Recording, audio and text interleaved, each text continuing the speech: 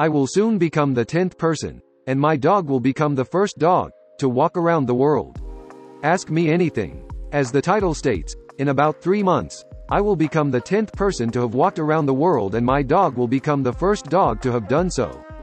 Seven years ago I left my home in New Jersey to embark on a 25,000 mile, seven continent, walk around the world, which didn't go entirely to plan due to COVID. After four months of walking, I adopted a dog, Savannah, and together we've covered 22,500 miles across 35 countries. When Savannah was a pup I pushed her in my cart. Now she'll walk 30 miles a day and still be running circles at night. We've spent nearly every minute of every day together. From navigating chaotic cities and strange new environments, Save and I are totally in sync. She's my best bud and absolutely rock solid. The dodo did a video on her. I'm walking around the world because of a friend who died at 17. Her death led me to understand how fleeting my life is and impressed on me the need to make the most of the short time I have. When I discovered Karl Bushby the idea of walking around the world stuck in my head as a way to live a full life. From 17 to 26 I went to college, worked, paid off loans, saved, then set off before I had too much responsibility. During the first two years of this adventure, I walked from New Jersey to Uruguay. I was held up at knife point in Panama, did ayahuasca in the Amazon, and climbed 15,000 feet over the Chilean Andes. They were incredibly clarifying years. The endless hours of walking allowed me to reach a profound acceptance of my life, my choices, and my idiosyncrasies.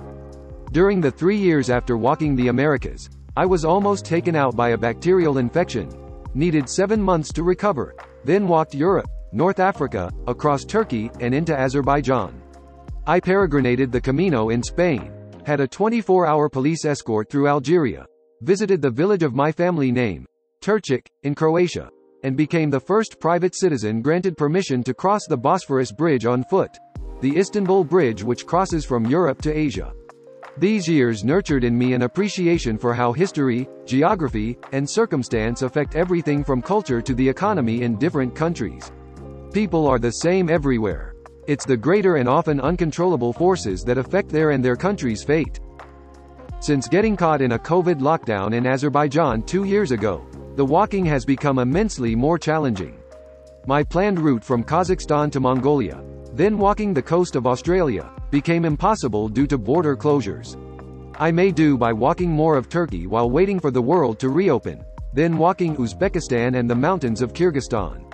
But by the time I finished walking Kyrgyzstan, much of the world remained closed, so Savannah and I flew to Seattle and began the last leg of our journey, a 3,000 mile walk back home to New Jersey. Strangely enough, this walk across my home country has proved the most difficult section of the journey. With the end in sight, I feel like it's taking every ounce of effort I have just to finish this thing. When this is all over I plan to write a memoir and a children's book, but the world walk has been my life for so long that I'm certain my transition back to normal life won't be easy. Currently, Save and I are posted up in Kansas waiting out a winter storm so I thought this would be the perfect moment for an AMA. This infographic on my site provides a great visualization of most of our walk. And this video from Sunrise Australia provides the best summation of our journey. Also, there's this great article Afar wrote on me and Savannah. If you'd like to follow along I do my best to post photos, film short videos, and write the occasional blog post. Do you worry at all about Savannah having to adapt to the more stationary lifestyle since she has basically been on one long walk her whole life? I know she's highly adaptable, but I'm still worried about the adjustment. We're walking 6 to 8 hours a day now and she still has energy when we set camp. I'll be going on some long walks when I'm done just for her sake. But also, she's 7 now and I think it's probably good that we're going to slow down. 7 is a good time for a dog to retire to a life of leisure. What country was the most challenging to walk through? Are you now well versed in international bureaucracy and paperwork? How did you handle all of that with language barriers? Did you find love on the road at all? Algeria was the most challenging not because of the terrain or the weather, but because I had a police escort with me 24-7. At first, it was nice to feel protected and have local guides whenever I hit a town, but after about two weeks it started driving me mad. I was used to lots of solitude, and now I was being fretted over every time I paused to make sure I was okay. All the officers were immensely friendly, but simply having eyes on me all the time wore on me. And towards the end of Algeria, because the police wouldn't let me camp, there were about five straight days I had to walk from sunup to sundown in order to reach a hotel. Temperature-wise, Costa Rica was the most challenging country. It was so hot and humid that in order to get any sort of mileage in I began waking at 4 a.m., then stopping at 10 a.m. because it was too hot to walk after that.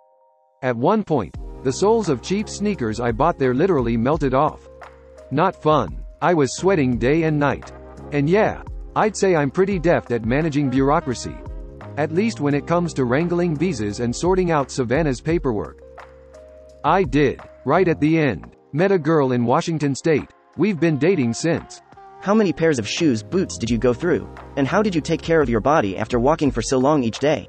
Obviously, traveling on foot around the entire earth must do a number to a guy. I've probably gone through about 45 pairs of shoes, but I stopped counting a long while back. At the end of each day, I do as much stretching as the weather permits. Sometimes it's just a little hamstring stretch in the tent, but the more I can do the better. I definitely feel the effects of a long day more if I don't stretch. Overall though, my body feels good. No lingering injuries or aches. How did you pay for the travel? I worked summers through college, worked after college, sometimes two jobs, lived at home to save, paid off most of my loans then readied myself to leave when I thought I had enough to make it the two years down to Argentina. Before leaving, however, Philadelphia Sign, a hometown company, the owner of which knew my friend who passed, offered to sponsor me and donate a dollar a mile into her scholarship fund. They give me a bit of money every two weeks. That enabled me to throw the rest of my savings at my loans and pay them off. Through Central and South America I basically only paid for food and the very infrequent motel. When I reached Europe, I started a Patreon to get me through the higher cost of living.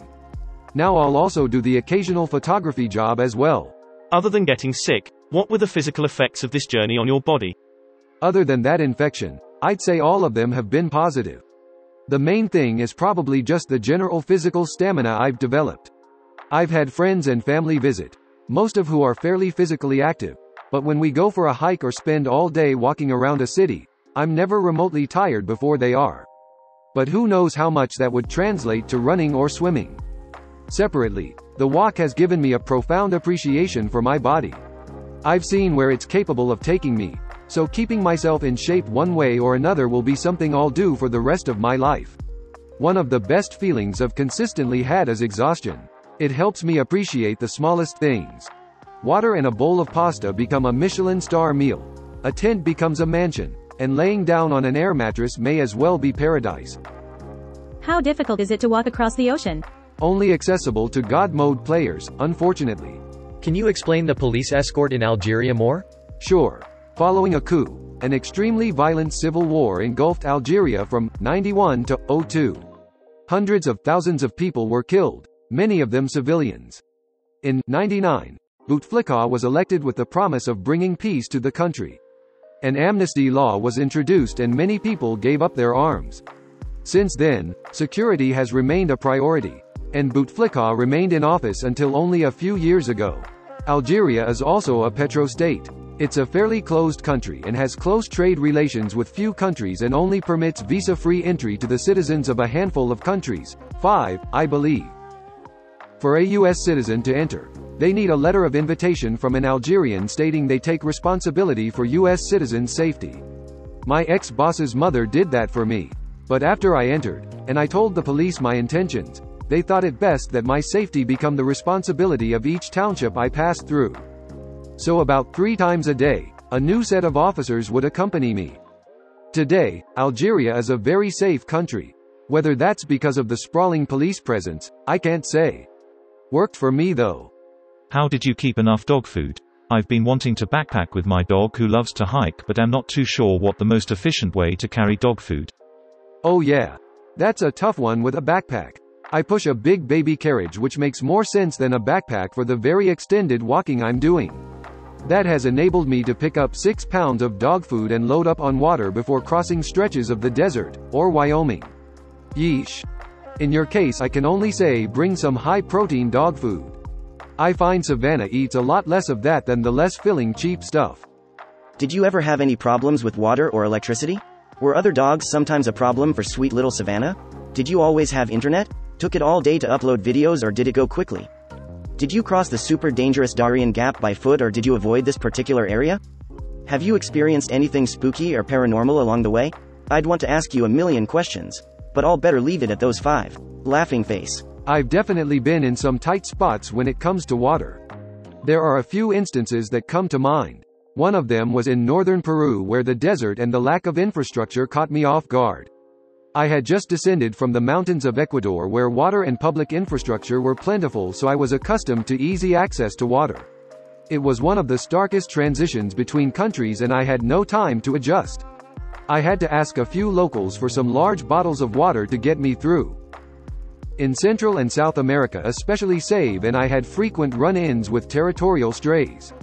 There were times I'd be stressed out for hours because dog after dog would charge out of their home at us. I've become very adept at fending them off. Most strays just bark until you get out of their territory. There were only two instances that come to mind when I was genuinely worried that a dog would rip my leg off or kill Save if it had the chance. I don't always have internet, but whatever country I'm in I'll buy a local SIM card. Uzbekistan had very sparse internet, as did stretches of desert in Peru and Chile, and there was no internet in the mountains of Kyrgyzstan. In those cases I just enjoy being disconnected and post whenever I get back into reception. Didn't cross the Darien Gap. But Karl Bushby did. He's a bad dude. Lots of spooky moments at night when your scents are playing tricks on you. I followed your journey on Facebook. Read all your updates. You and Savannah are an inspiration to many. I enjoyed all the beautiful pictures and such. As a question, what are you gonna do now? Don't see you doing a 9 to 5 job grin. Thanks for following. It's a question I'm asking myself and something I'll need to figure out over the next few years. When I stop I'll definitely be writing a memoir if for no other reason than to process everything I've gone through. How much has this trip cost you, whether from your own pockets or from donations? The first two years about $12,000 a year, maybe less, plus intercontinental flights. The remaining years, probably $30,000 a year. Through Central and South America I was young and on fire. I would have done just about anything to make this walk happen. The first year I walked from NJ to Panama City and slept in a bed I paid for maybe three weeks total. Two of those weeks were in a hostel on Lake Atitlan in Guatemala so I could study Spanish. In Europe, money was very tight. My Patreon was a supplement to my sponsorship but I only paid for food, the occasional hotel, ferries to and from Africa, and Savannah's paperwork for crossing borders. I was stuck in San Sebastian, Spain waiting for a visa extension and was only able to stay in the city because the guy who rented a room of his Airbnb to me for a bit told me he'd let me stay for free. From Turkey on it's been cheap again. The cost of living is low in Turkey, Georgia, Azerbaijan, Uzbekistan, and Kyrgyzstan. My main expenses have been flights because COVID stopped land border crossings in those countries. It's a cheap life. I'm basically only paying for food and the occasional hotel and rare flight. Hi Tom, thank you for doing this AMA. I've been following you for years and you've inspired me to travel more so thank you for what you do. My question is what will be your plans once you are done with your walk? Will you settle down permanently or do you plan to do shorter trips? Hey, thanks for the question. The plan right now is to take at least a year to settle in somewhere, not travel and work on a memoir and children's book. I'm sure I'll continue traveling in the future. Certainly some hikes, but I doubt I'll be walking across any more countries. It's so demanding on the mind and body. I'm really looking forward to not living out of a baby carriage and actually having friends around for a bit. Imagine walking the entire planet just to end up back in Jersey? JK I'm from Bergen County. What part of Jersey are you from? Haha I love Jersey. I'm from Camden County. How much time and money went into planning out and preparing yourself before the adventure? There wasn't much money put into planning the walk. Mostly it was a lot of reading, the occasional two or three day hike, and a conversation with Karl Bushby which helped tremendously. On a large scale, there were only few criteria that went into planning my trip. I knew I wanted to hit every continent and I wanted to do that with as little stoppage due to visas as possible. I researched visa requirements for American citizens then drew a rough route. Then I created my timeline by figuring I would average 15 miles a day. That allowed me to walk through some fairly mild weather, avoid a North African summer and reach Uruguay by the end of their summer to catch a boat to Antarctica. On a day-to-day basis, It took me a while to figure out what roads were best to walk. In the beginning, I walked these winding PA roads that nearly killed me. I learned to prioritize farm roads or those with a shoulder. For the Americas, I basically followed the Pan American Highway and Europe has an amazing network of bike routes. I wouldn't say my route planning is day to day, but maybe week to week. Did you ever need to seek veterinary care for Save when on the road? If so, what was the situation and how did it go? Only twice. Once was in Spain when a seed somehow wedged itself between her knuckles. It ended up coming out on its own in a few days. The other time was far more harrowing. We were in the Atacama Desert in northern Chile, hiding from the sun against a lane barrier when Savannah sneezed and her nose began pouring out blood as thin as water.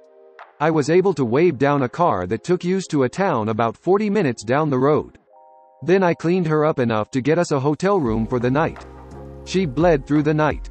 I bought a sedative from the local pharmacy, but there was no veterinary clinic there. She was losing so much blood she almost looked pale. The next day I convinced a cabbie to drive us four hours to Arica, a city on the northern coast. The vet knew what she had immediately. Apparently, there's a tick in southern Peru that will pass on an infection that causes a dog's platelets to drop to zero. With some medication, Save was back to normal in a week or two. But it was one of the more terrifying ordeals of my life. You can read about it on my blog here. TheWorldWalk.com. The Saga of Savannah Part 1. Now that Australia has, recently, reopened its borders, are you considering extending your walk?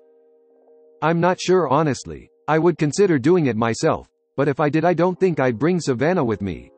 The flight is maybe a day long and there's a mandatory 10-day quarantine for her.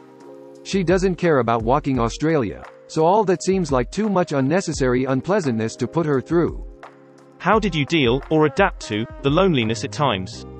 I've been following you for years and as a fellow New Jerseyan, I'm just in awe at everything you've done. Thanks. Glad to have had you along. Hmm. That's a good question. The first two years I don't think I felt much loneliness at all. Every day was a wave of new challenges, and I was so on fire with the idea that I was actually living my dream that I didn't give thought to anything else. But loneliness grew at a few points during the walk. After the bacteria infection was one. I had been in physical pain for so long, that when I started back up again I found my usual upbeat thoughts had a dark bend to them. I kept thinking, what am I doing out here? The days felt pointless. It wasn't until I joined the Camino in Spain that I got out of that darkness. On the Camino, I had a community in a way I never had before. I had people to eat breakfast with, to talk with while walking, and to expound on the beauty of simple living. That was enough to pull me out of my funk and get me back to enjoying the act of living free. Recently, a different sort of loneliness has found me. It's not as painful as the other. It's more an eagerness to spend time with my friends and family again. With the end so near I can't help but think of the time I'll get to spend with all the people I've been away from for so long. I look back and see just how much emotional weight I've been carrying. I'm ready to set the walk aside, to set the solitude aside, and enjoy being part of a community again. I'm eager for simple things. Sitting with a friend or sharing dinner with my grandparents. It amounts to a broader loneliness, one tinged with love and not bitterness.